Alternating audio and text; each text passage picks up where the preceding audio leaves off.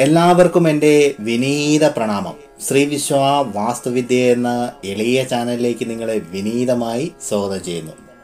പ്രിയരെ കഴിഞ്ഞ ഒരു അധ്യായത്തിൽ കാമസൂത്ര രഹസ്യങ്ങൾ എന്നൊരു അധ്യായം ഇട്ടിരുന്നു. അതിന്റെ രണ്ടാമത്തെ ഭാഗമാണിത്. കാമസൂത്ര എന്ന ഗ്രന്ഥത്തിനെ തർജിമ ചെയ്തത് ബ്രിട്ടീഷുകാരനായ സർ റിച്ചാർഡ് ബർട്ടനായിരുന്നു. ആയിരത്തി എണ്ണൂറ്റി എൺപത്തി മൂന്നിലാണ് ഇദ്ദേഹം ഇത് തർജമ ചെയ്തത്. ലോകത്തെ മുഴുവനും പ്രകമ്പനം കൊള്ളിച്ചു എന്ന് വേണം പറയാൻ. അത്രയ്ക്കും കാമസൂത്ര ഗ്രന്ഥത്തിന് ആവശ്യക്കാരുണ്ടായിരുന്നത്രേ.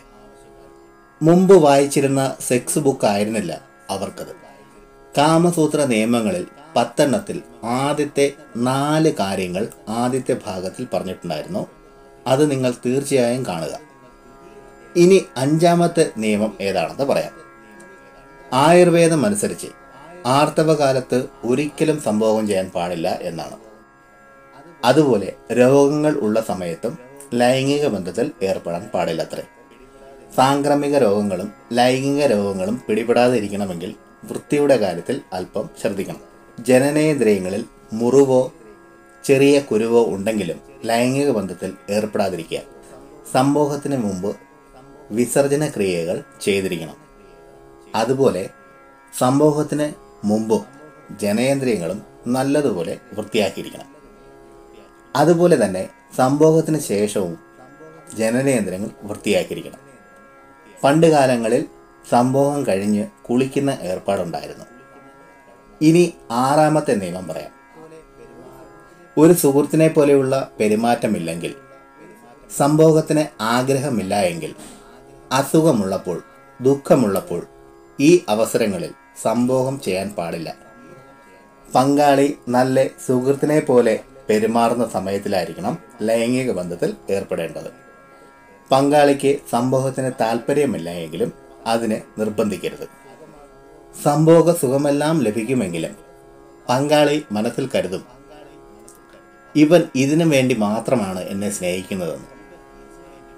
ഭവനത്തിൽ എന്തെങ്കിലും ദുഃഖകരമായ അവസ്ഥയുണ്ടെങ്കിലും അന്നും രതിക്കിരടയിൽ നിന്ന് ഒഴിഞ്ഞു നിൽക്കുക. ഇത് ഭാവിയിൽ ലൈംഗിക വിരക്തി ഉണ്ടാക്കുന്നു. മനസ്സും ശരീരവും നല്ല ഉന്മേഷത്തോടെ ഇരിക്കുമ്പോഴാണ് രതിക്കിരട ചെയ്യേണ്ടത്. കാരണം ഇതൊരു പവിത്രമായ കർമ്മമാണ്. ഏഴാമത്തെ നിയമം. പവിത്രമായി കരുതുന്ന വൃക്ഷങ്ങളുടെ ചുവട്ടിൽ നാൽ കവല പൂന്തോട്ടങ്ങൾ ശ്മശാന സമീപം ചികിത്സാലയങ്ങൾ ആരാധനാലയങ്ങൾ ഗുരുവിന്റെ പാർപ്പിട സ്ഥലം മരണവീട്. ഇവിടെയൊന്നും ലൈംഗിക ബന്ധമോ ലൈംഗിക ചേഷ്ടകളോ പാടില്ല. അങ്ങനെ അവിടെയെല്ലാം ലൈംഗിക ക്രിയകളോ ലൈംഗിക ചേഷ്ടകളോ ചെയ്യുകയാണെങ്കിൽ ലൈംഗിക രോഗങ്ങൾ താല്പര്യമില്ലായ്മ ഉത്തേജനക്കുറവ് ഇവയെല്ലാം സംഭവിക്കുന്നതാണ്. ഇക്കാര്യം വളരെ പ്രധാനപ്പെട്ട കാര്യമാണ്. എട്ടാമത്തെ നിയമം ഇതാണ്. കാണാൻ വൃത്തികേടായിരിക്കുന്ന ചരിത്രഹീനരായ പുരുഷൻ അതുപോലെ സ്ത്രീ. മോശമായി പെരുമാറുന്നവർ അതുപോലെ പരസ്ത്രീ അഥവാ പരപുരുഷൻ ഇവരുമായുള്ള ലൈംഗിക ബന്ധത്തിൽ ഏർപ്പെടരുതെന്നാണ് കാമസൂത്രത്തിൽ പറയുന്നത്. പരസ്ത്രീ പരപുരുഷ ബന്ധത്തിൽ എന്താണ് കുഴപ്പം എന്നായിരിക്കും എല്ലാവരും ചിന്തിക്കുന്നത്. ഇതിൽ പറയുന്ന പര എന്നതിന്റെ അർത്ഥം നമുക്ക് നന്നായി അറിയില്ലാത്തവർ. ഇതിന് കാരണം കൂടി പറയാം. നമുക്ക് നന്നായി അറിയാത്തവരുമായി നമ്മൾ ശാരീരിക ബന്ധത്തിൽ ഏർപ്പെടുമ്പോൾ അവരിലുള്ള ദോഷ സമയത്തിലുണ്ടാകുന്ന പ്രശ്നങ്ങളും അവർക്ക് ലഭിച്ചിരിക്കുന്ന ശാപങ്ങളും അങ്ങനെയുള്ള കാര്യങ്ങളൊന്നും നമുക്ക് അറിയാൻ പാടില്ലല്ലോ അല്ലേ? രതിക്രീഡ ചെയ്യുന്ന സമയത്ത് അവരുടെ ശരീരത്തിലെ ഓറ വഴി നമ്മളിലേക്കും എത്തുന്നു. ഇത് പെട്ടെന്ന് അംഗീകരിക്കാൻ കഴിയുന്നില്ല എങ്കിൽ അനുഭവിച്ചറിഞ്ഞാൽ മതി. ഒൻപതാമത്തെ നിയമം. ഗർഭകാലത്ത് ലൈംഗിക ബന്ധത്തെ ഒഴിവാക്കുക. ഗർഭകാലത്ത് ലൈംഗിക ബന്ധത്തിൽ ഏർപ്പെടുകയാണെങ്കിൽ ഗർഭചിത്രമോ അല്ലെങ്കിൽ ജനിക്കുന്ന കുഞ്ഞിന് അംഗവൈകല്യമോ ജനിക്കുന്ന കുഞ്ഞ് നിത്യരോഗിയോ ആകാൻ സാധ്യതയുണ്ട്.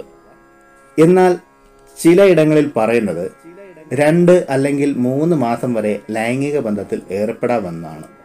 എന്നാലും ഗർഭധാരണം ആയി കഴിഞ്ഞാൽ ലൈംഗിക ബന്ധത്തിൽ നിന്ന് ഒഴിഞ്ഞു നിൽക്കുന്നതാണ് ഏറ്റവും ഉചിതം. ഇനി പത്താമത്തെ നിയമം പറയാം. പ്രിയരെ അവിഹിത ബന്ധവും അവിവാഹിത ബന്ധവും തമ്മിൽ വ്യത്യാസമുണ്ട്. അവിഹിത ബന്ധമെന്നാൽ പുറത്ത് പറയാൻ പറ്റാത്ത അതായത് ബന്ധക്കാരുമായോ അങ്ങനെ ചിലരുമായുള്ള ബന്ധങ്ങൾ. അവിവാഹിത ബന്ധം എന്നാൽ വിവാഹത്തിന് മുമ്പുള്ള ലൈംഗിക ക്രിയകൾ. കുഞ്ഞുങ്ങളോട് കാമചേഷ്ടകൾ ചെയ്യുക പ്രായബന്ധങ്ങൾ നോക്കാതെ രതിക്രീഡകൾ ഇവയെല്ലാം ചെയ്യുന്നത് നാളെ സ്വന്തം കുഞ്ഞുങ്ങൾ ഇതെല്ലാം ചെയ്യുന്നത് കാണേണ്ടി വരും. നാല് സ്ത്രീകളുമായി ശാരീരിക ബന്ധത്തിൽ ഏർപ്പെടാൻ പാടില്ല. ഇവരെ അഗമ്യകൾ എന്നാണ് അറിയപ്പെടുന്നത്. സ്വന്തം മാതാവ് ജ്യേഷ്ഠ പത്നി സുഹൃപത്നി ഗുരുപത്നി ഇവരാണ് അഗമ്യകൾ. സംഭോഗം ചെയ്തതിന് ശേഷം വേണ്ടായിരുന്നു എന്ന തോന്നൽ ഉണ്ടാവുന്നുവെങ്കിൽ അവരോടും പിന്നീട് ലൈംഗിക ബന്ധം പുലർത്താൻ പാടില്ല. ഏറ്റവും കൂടുതൽ ഇത് ഉണ്ടാകുന്നത് അതായത് വേണ്ടായിരുന്നു എന്ന തോന്നൽ ഉണ്ടാകുന്നത് സ്വയംഭോഗം ചെയ്തതിന് ശേഷമായിരിക്കും. അതുകൊണ്ട് അതും ഒഴിവാക്കുക. പ്രിയരെ ഇനിയുമുണ്ട് കാര്യങ്ങൾ പറയാൻ. ഏത് ദിവസം സംഭോഗം ചെയ്യുമ്പോഴാണ് സുന്ദരനും ധാർമ്മികനുമായ ആൺകുഞ്ഞുങ്ങൾ ജനിക്കുന്നത്? ഏത് ദിവസമാണ് സംസ്കാരമുള്ളതും കുലീനതയുമായ സുന്ദരിയായ പെൺകുഞ്ഞുങ്ങൾ ജനിക്കുന്നത്? ആ രഹസ്യ കാര്യങ്ങളും.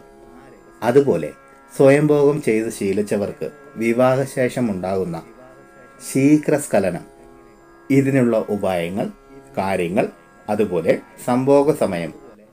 പങ്കാളിയെ കൂടുതൽ സന്തോഷിപ്പിക്കാൻ ആചരിക്കേണ്ട കർമ്മങ്ങൾ അതുപോലെ മന്ത്രങ്ങൾ ഇവയെല്ലാം വരുന്ന അധ്യായങ്ങളിൽ പറഞ്ഞു തരുന്നതായിരിക്കും.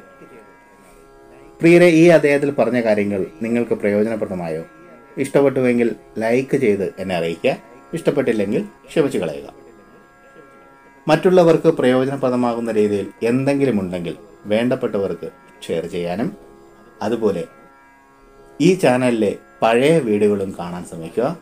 പിന്നെ ഞാൻ എപ്പോഴും പറയുന്നത് പോലെ സത്യസന്ധമായ യഥാർത്ഥ വാസ്തുവിദ്യ രഹസ്യങ്ങളും സനാതന ധർമ്മത്തിലെ സാധന ഉപാസന മന്ത്രരഹസ്യങ്ങളും ഹസ്തരേഖ വിജ്ഞാനവും സാമുദ്രിക ശാസ്ത്ര രഹസ്യങ്ങളും അറിയാനായി നിങ്ങൾ ഈ ചാനൽ സബ്സ്ക്രൈബ് ചെയ്യുക. നിങ്ങൾക്ക് എല്ലാവർക്കും സർവേശ്വരന്റെ അനുഗ്രഹം ലഭിക്കാനായി ആത്മാർത്ഥമായി പ്രാർത്ഥിച്ചുകൊണ്ട് നിർത്തുന്നു. നന്ദി നമസ്കാരം.